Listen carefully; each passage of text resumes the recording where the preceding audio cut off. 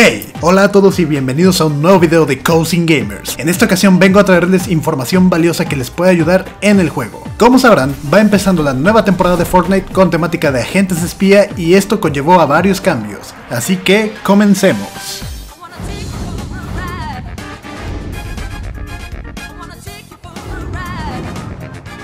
Número 1. Se agregaron 7 lugares nuevos donde se pueden encontrar bots de henchmen. No 5, 7. Los 5 principales que ya conocen que es The Shark, The Jet, The Agency, The Grotto y The Rig y así como la casa de Ghost que está en el cuadrante D6 y el safe house secreto que está en G4, lo cual nos lleva al número 2, el lugar secreto de la gasolinera. La primera vez que pasé ahí con Krikros se nos hizo muy raro que había dos henchmen caminando por ahí. Pero, para descubrir los secretos de este lugar tienen que meterse a el baño dentro del baño. Y así podrán meterse a una zona secreta subterránea de la Shadow Operation. Una vez ahí podrán ver que hay tres henchmen en total. Lo que tienen que hacer es noquear a los henchmen y usar uno para abrir ese cofre secreto.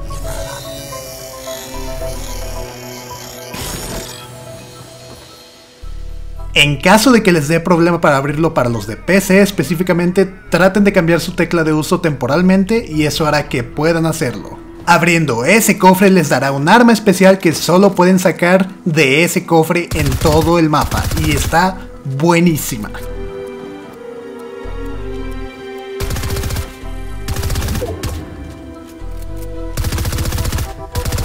Este lugar siento que va a ser parte de los próximos desafíos del pase de batalla, así que ténganlo muy bien en cuenta. Para salir del lugar es solo cosa de irse a este baño de aquí y igual, si quieren volver a meterse a ese lugar, pueden meterse tanto por el baño de aquí como por el otro por el que entramos. Y para los que les gustan mis escondites, aquí les va uno muy muy bueno que encontré en este lugar que pueden usar si quisieran.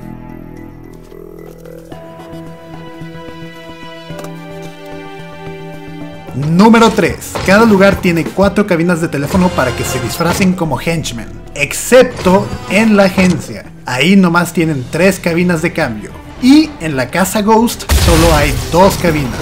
Después haré un video diciendo en qué lado específicamente están las cabinas, pero aquí les puedo dejar un mapa con las marcas de dónde las pueden encontrar. Número 4. Como sabrán, cada lugar de base de espionaje tiene a su propio jefe que vencer para poder abrir las bóvedas. The Shark tiene a Sky, el Yate tiene a Miosus, The Rig tiene a Tientina, The Grotto tiene a Brutus y la agencia tiene a Midas. Cada personaje cuando lo vences suelta tanto sus armas principales como una tarjeta especial para abrir dichas bóvedas. Las armas para cada personaje son el rifle de asalto y el grappler de Sky, el arco de Tientina, la minigun de Brutus, el rifle del gato y la Tommy Gun dorada de Midas. Cada jefe tiene su propia tarjeta con su propio estilo. Los tres, sus tarjetas. Échale. Excelente. Muy bien. Oh yeah. Muy bien hecho, agentes. Misión cumplida. Las únicas que son iguales son las del gato y de Midas, pero es porque trabajan en la misma corporación, lo cual nos lleva al punto número 5. No puedes abrir la bóveda de un personaje con la tarjeta de otro personaje. La tarjeta tiene que ser específicamente la del personaje que cuida esa bóveda.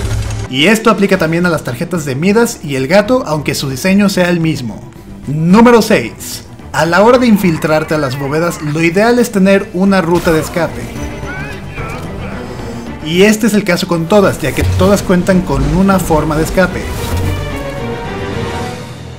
Excepto la de la agencia. Esta bóveda es la única que no cuenta con un baño como ruta de escape. Entonces, si logras infiltrarte ahí, más vale que tengas un muy buen plan de escape para poder salir de ahí a salvo, pollo. Número 7.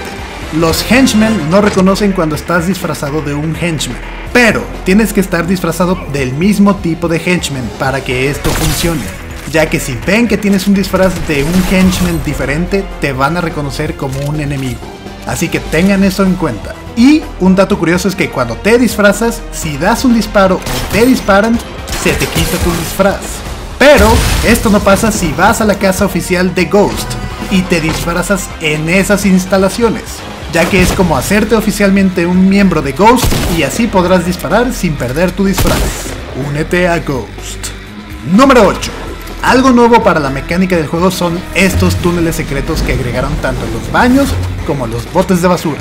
Y algo que hay que tener en cuenta es que muchos de estos suelen ser un camino de ida y vuelta, pero pueden encontrarse con algunos que están ligados con otras salidas y hagan de su ruta algo impredecible y aleatorio.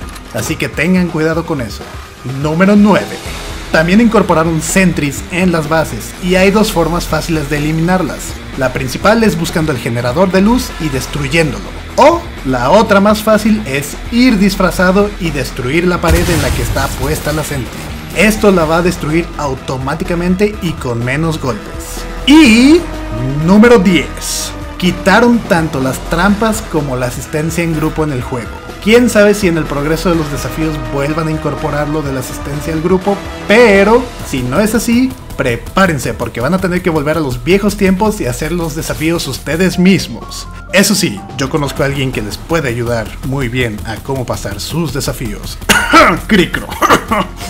Pero bueno, esos fueron 10 datos de esta nueva temporada. Espero que les haya servido este video y agradecemos muchísimo que usen nuestro código de creador en la tienda de Fortnite. Les recordamos que hacemos live streams en Twitch todas las semanas y esperen los nuevos escondites de la temporada. Así que recuerden, todos somos Cozy Gamers. Oh yeah.